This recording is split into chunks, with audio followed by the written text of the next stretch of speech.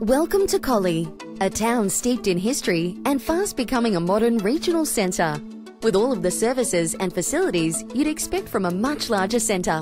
It's the perfect place for you and your family to call home. Imagine getting to work within 10 minutes. With a friendly, welcoming community, Collie's relaxed lifestyle is complemented by a thriving central business district, including two major supermarkets, several national franchise stores, complemented by smaller specialty shops. That's big buying power with friendly personal service. Collie boasts great medical and professional services, a choice of private and public schooling options, and a powerhouse economy driven by the ever expanding resources sector. Uh, it's a really enjoyable place to live, great community spirit and plenty of opportunities for, for jobs. Collie has a range of affordable housing options to suit all ages and stages of life. There are plenty of things to do to keep your family occupied, with a good range of sporting, leisure clubs and associations.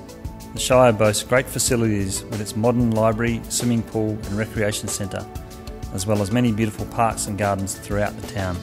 Discover some of the Southwest's most beautiful natural features in and around Collie. The Collie River meanders right through the middle of town. There are majestic forests with some of the state's best walking and mountain bike trails, and lakes and dams that make for some amazing weekend getaways. If you love the outdoors, if you if you love being part of nature, you know, Collie's surrounded by forest in you know, two or three minutes you're you're out of the out of the town and, and into the outdoors. Collie's mining and traditional roots are complemented by its increasingly cosmopolitan population. This vibrancy has seen Collie recently announced as a super town by the Government of Western Australia a role that will ensure Collie continues to grow as a dynamic regional centre. A Collie lifestyle is the best of both worlds.